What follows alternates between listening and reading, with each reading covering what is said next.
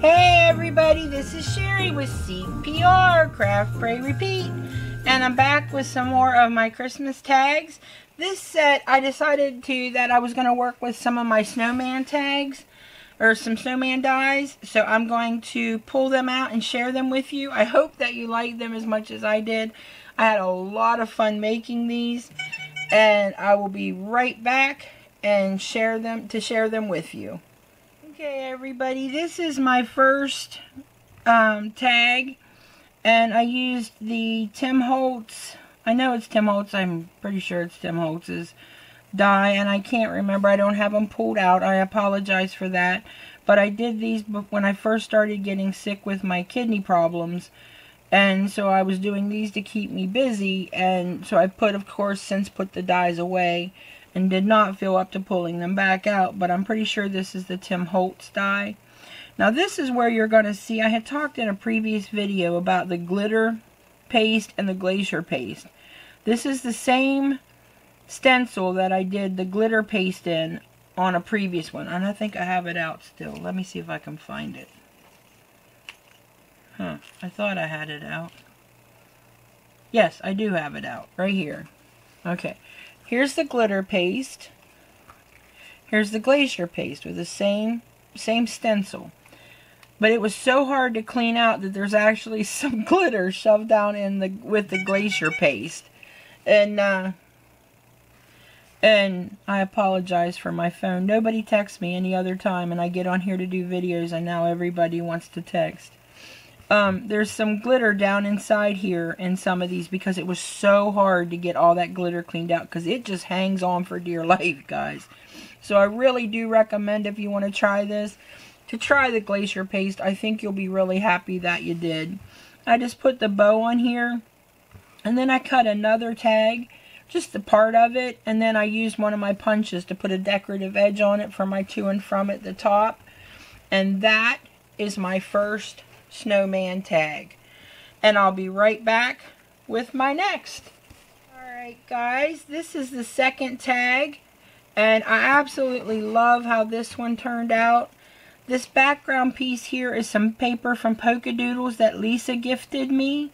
Some ribbon from, I'm not sure if this ribbon came from Hobby Lobby or if it came from Walmart because this is wider well, here, I have it on my desk.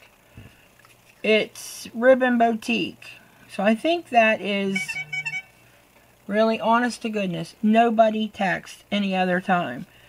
I think, yeah, this is Hobby Lobby brand.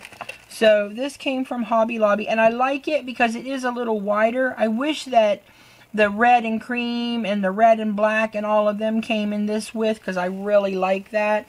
This is a die from AliExpress, one that I've had. I've had this one for a long time, and I put off doing it because it kind of intimidated me.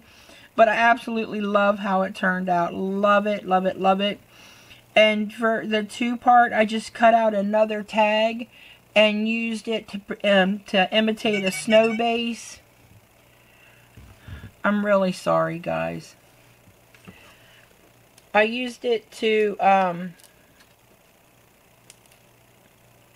imitate a, a snowbank. Excuse me, a snowbank. And then just stood my snowman on top of that. And there's room right here to write who the package is to.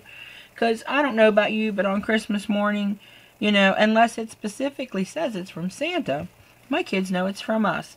So I don't really need a from. So the two will go, who it's to will go right here. And I think this one turned out really cute. I absolutely love how it turned out. I tried to use the same kind of background paper with another snow or another snowman die that I was going to use, which I'll share here in a second. But it didn't look right, but I love how it looked with this one. Maybe because there's more white to this snowman. I'm not sure, but absolutely love it. And one second, and I'll show you the third and final tag in this set. Alright everyone, here is the third and final tag. Again, this is the red and black ribbon from Hobby Lobby. I used a regular, one of the smaller ones. It's just like this, only it's smaller for the two. Here is the snowman that I was talking about that I tried using on this paper, but it just didn't work for me. inked everything up. And originally, this die has him holding something different. I don't remember what it was, but I wasn't happy with how it looked. So I just had him holding a little stocking button that I had, and I cut the shank off the back. So he's holding the little stocking, and you can see the glacier paste just shimmering in the background. Absolutely love it. And um, I'm really happy with all of these. Love how they turned out. I think this one is probably my favorite. Let me know which is your favorite and why, because I want to hear, did you like the... I'm not real thrilled about that bow going like this, I'm not going to lie. But, you know, not all of these tags are going to me. I give them away in sets of three normally. And um, to to the police officers and to um, some of my kids as teachers and then I give away a bunch to my family, which they just go up in a bag and they can pick out what they want. So, I mean, I try to make different styles. I try not to make it all about what I like, but what I think other people will like. So, tell me which one is your favorite, and if you could tell me why you like it or why you don't like something about it, I would appreciate that too. Because I want to learn and I want to make these the best they can possibly be because I enjoy giving them and I want them to look really nice. So I hope that you like them. If you have any questions or comments, leave them below, and I'll do my best to answer them. And if you like this video, give it a thumbs up, and remember to practice your CPR, craft, pray, repeat. Thanks for visiting me today, and happy crafting. Love you all. Bye.